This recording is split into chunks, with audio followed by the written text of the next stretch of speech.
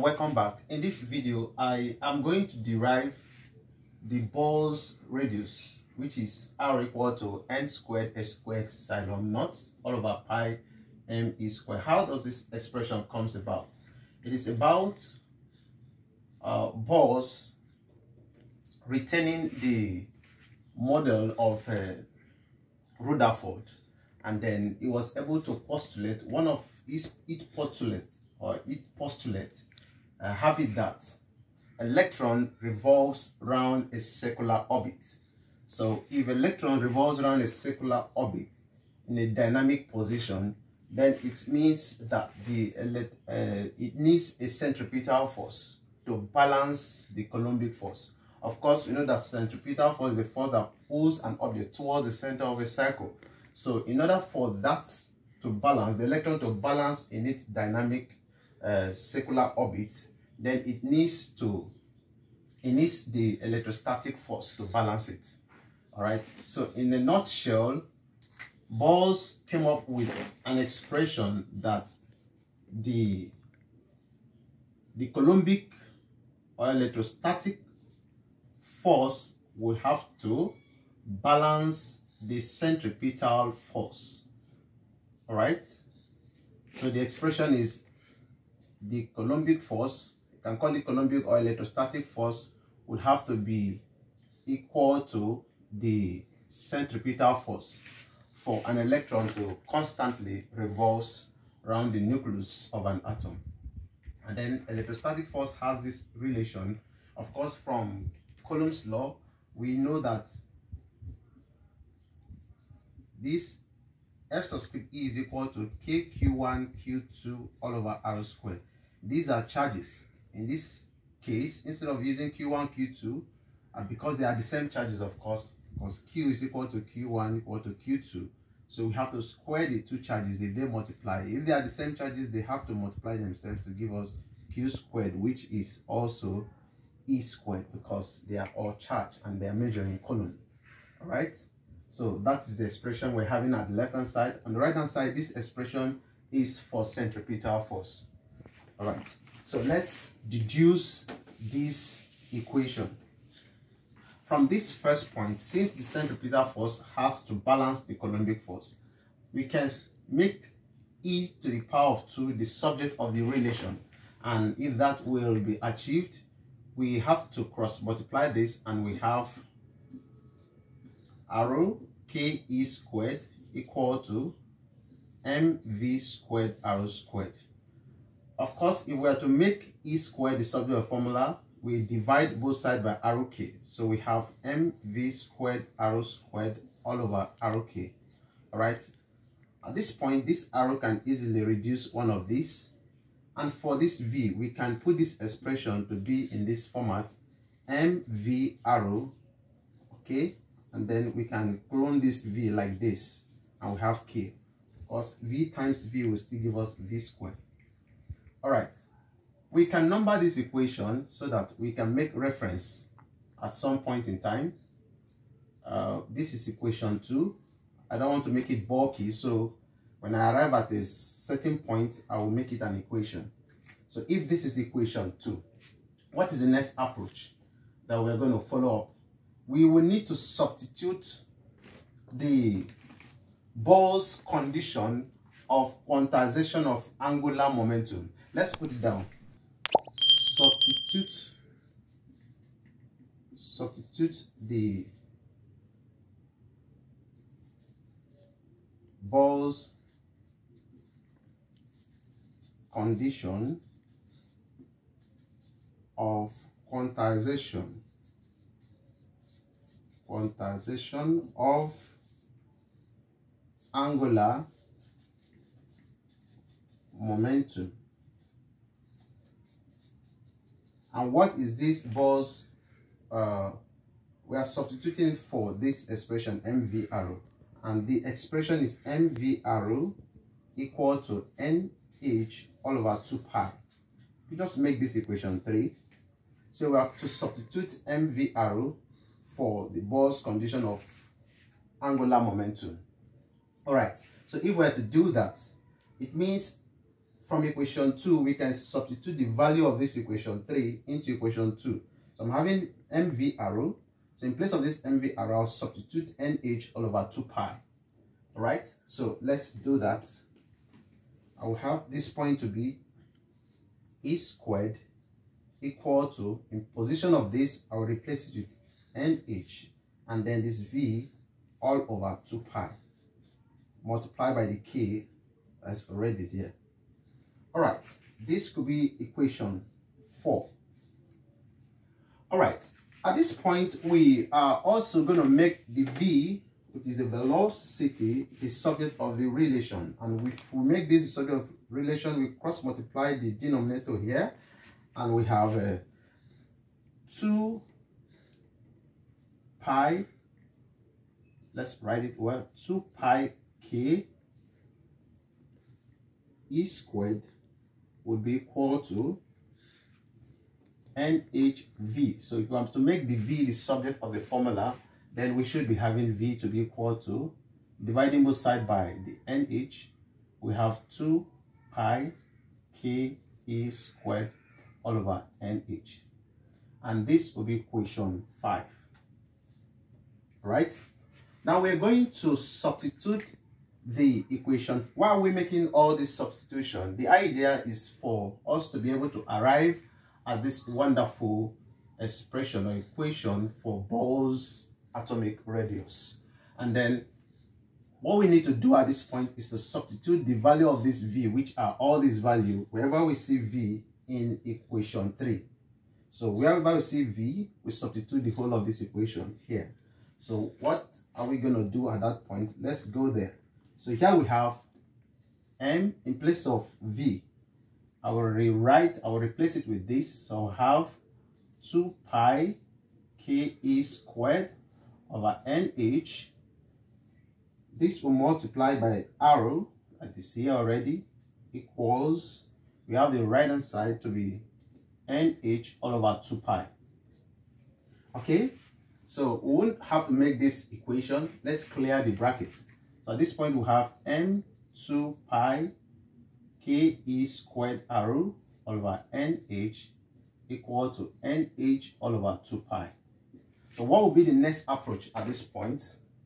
I have to cross multiply the equation. And if I cross multiply this to this, this will only affect the 2 pi here, thereby increasing it to 4 pi squared ke squared arrow equal to, if this multiplies by this, it will increase n squared and also h squared.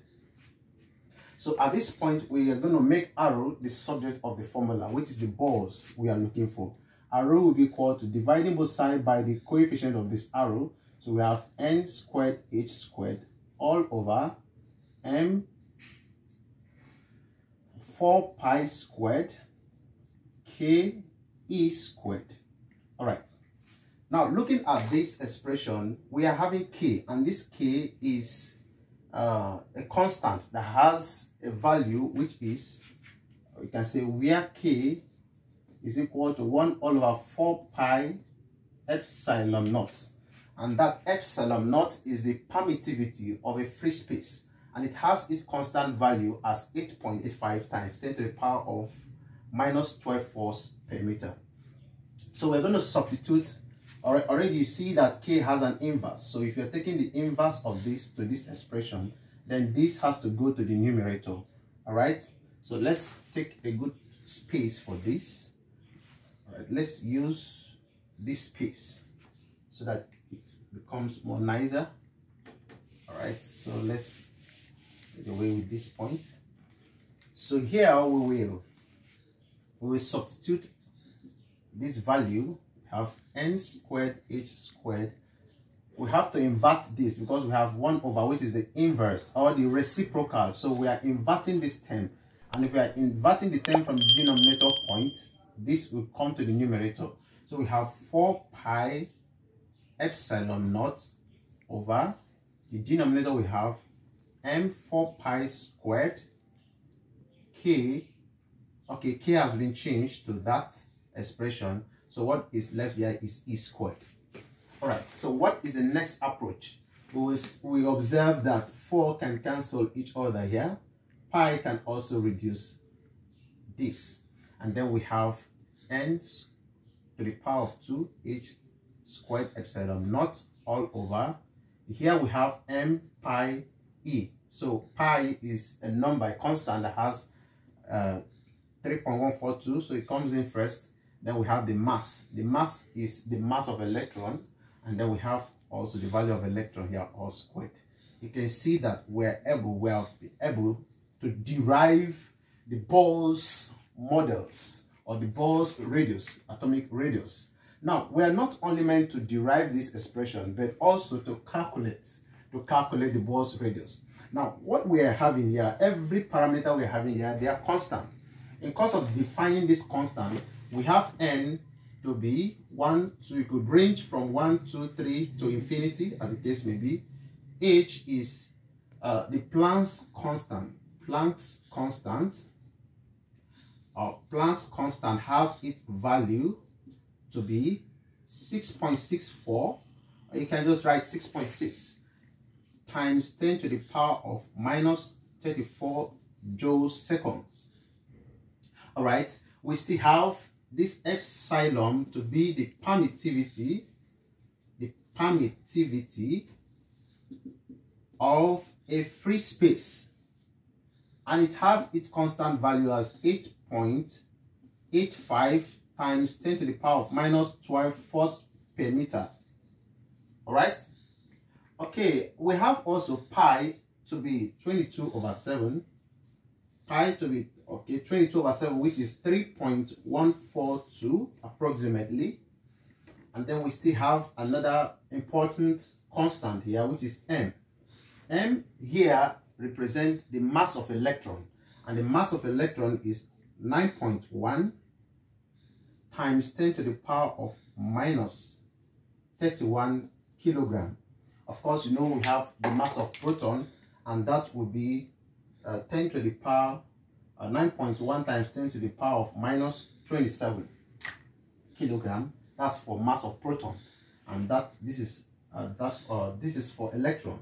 All right. Then finally, we still have E, which is for electron, and electron has its value to be 1.6. All right, times 10 to the power of minus 19 coulomb. All right, so these are the necessary uh, parameters. When we substitute all these parameters into this equation, of course, in some cases, we can make uh, an atom, you can still work on this equation such that if an atom it means um, is meant to have a, a z starting from 2, 3, 4 as the case may be, then we can still evaluate this equation to be r equal to n squared h squared epsilon naught all over pi m can have z here e squared. But this will not be necessary at the moment. Our interest is to substitute this expression into this formula. And if we substitute this into this formula then you see that r will be equal to of course for us to get the Bohr's atomic radius, we have to make the n, the value of n to be 1. So if n is 1, if the value of n is 1, so it means n, which is 1 squared, is 1. So here we have the value of the Planck's constant, which is 6.6 .6 times 10 to the power of minus 34. This value is squared, and we have the next one by it, which is the permittivity of free space 8.85 times 10 to the power of minus 12 divide by we have 3.142 this will multiply by the mass of electron which is 9.1 times 10 to the power of minus 31 and this also will multiply by that of charge which is uh, 1.6 times 10 to the power of minus 19 and this value is also squared. Therefore arrow will be equal to by the time you evaluate this equation, you have 0.48 times 10 to the power of minus 10. All right? And the unit of the unit of this arrow radius is in meters. And you can have this approximate value of this radius to be 0.5 times 10 to the power of minus 10 meters or you can leave the answer in this form of course 10 to the power of minus 10 means an Armstrong unit an Armstrong Armstrong unit. An Armstrong unit has 10 to the power of minus 10 all right? This is equivalent to Armstrong unit. So you can have this to be 0 0.5 a to the power of naught or a naught. And this a naught represent Armstrong. And Armstrong Armstrong is equivalent to 10 to the power of minus 10 meters. So that is how we can calculate and also derive the Bohr's atomic radius. So if you like this video, please make sure you subscribe to my channel and also turn on the notification for more video and then share. Thank you very much. Stay peace.